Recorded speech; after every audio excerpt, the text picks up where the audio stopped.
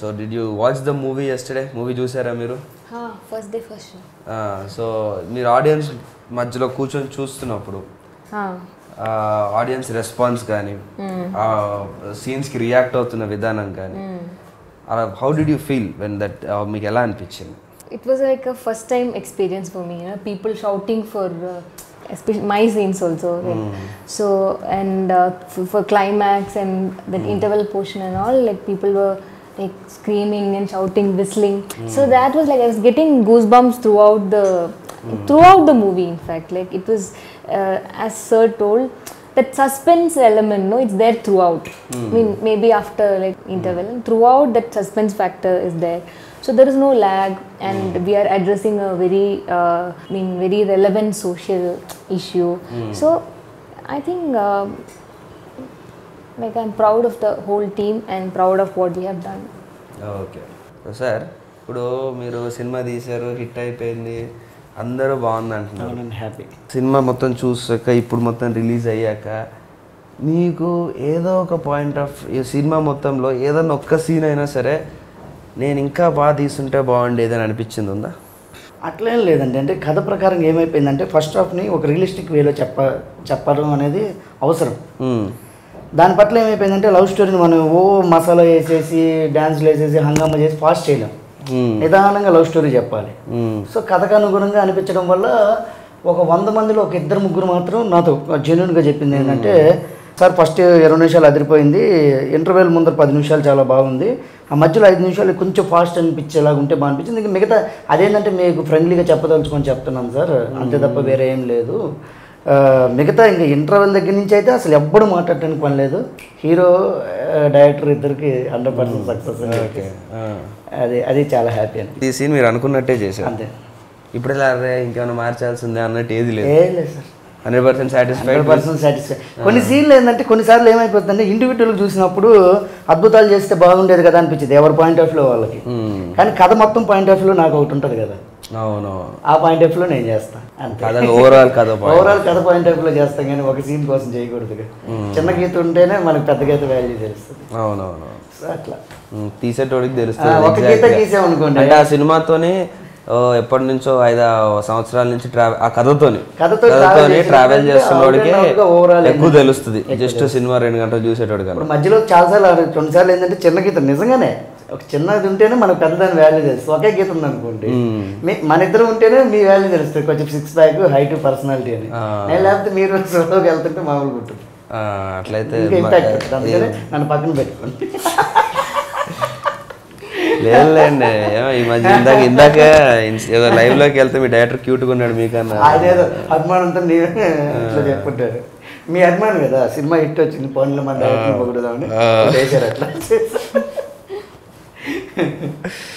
అది అనగా hundred percent satisfied with your work what i have done mm. and that i'm never satisfied i think most of the actors that have that problem you know like if you see a scene whatever you have done mm. you hmm. always feel that okay i could have done it little more could have hmm. done it like this like that Mm. at least for me that always comes mm. so in that way i'm I, I always feel that okay i could have done it in a different way or i could mm. have done hmm. it like that that is there but still i'm happy that whatever i have done people are getting connected to it people are feeling it emotion, no?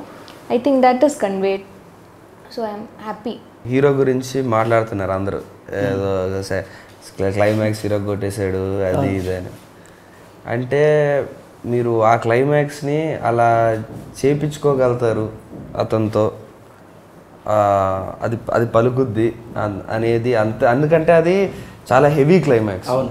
అది మామూలుగా ఒక stature లేని hero అంటే stature in the sense ఒక stardom లేని hero అలాంటి అంత action చేయడం అలాంటి నరకడం అలాంటి డైలాగ్స్ చెప్ చెప్పడం అది జనం యాక్సెప్ట్ చేయడం అనేది ఒక ఛాలెంజ్ అది మీరు తను పుల్ ఆఫ్ చేయగలుగుతాడు ఆర్ చేస్తే నమ్మ నమ్మేటట్టు ఉంటుంది. లేదు లేదు లేదు. హండ్రెడ్ పర్సెంట్ అని మీకు ఎందుకు అనిపించింది? లేదు ఆర్ఎక్స్ చూశాను. కంపల్సరీగా ఇంటెన్స్ అతను. చేసేస్తాడు అనిపించింది నాకేం దాని పెద్ద డౌట్ డౌట్ లేదు. డౌట్ ఏం సో రాదు మీరు సర్ప్రైజ్ ఏం అవ్వలే. మీకు తెలుసు ఆల్రెడీ బాగా చేస్తారు. దేవుడి దయలో నాకేంటంటే ఈ సినిమాకి ఏది సర్ప్రైజులు రాలా. ఫస్ట్ నుంచి కథ కథ తీసుకొని ఇరవై నిమిషాలు చెప్తే ఇతనికి వర్కౌట్ అయ్యిద్ది అన్నప్పుడు అవుతుందా లేదని చిన్న డైలమా అప్పుడు ఉండింది. హీరో దగ్గరికి వెళ్ళేటప్పుడు. ఓకే అయిన దగ్గర నుంచి ఎప్పుడు రా నేను అయ్యి బాబాయ్ అనుకునే సర్ప్రైజులు రాను అన్ని అమ్మయ్య అనుకునేది. ఇప్పుడు సినిమా కూడా. సినిమా కూడా నాకు కంపల్సరీగా నేను ఫస్ట్ నుంచి చెప్తుంది ఏంటంటే ఎంతమంది చూడండి ఎవరు కూడా బాగలేదని మాత్రం అనరు. అవును మాకు గుర్తుంది మీరు సినిమాని మాత్రం షూర్గా ఒక్కరు కూడా బాగలేరని చెప్పరు.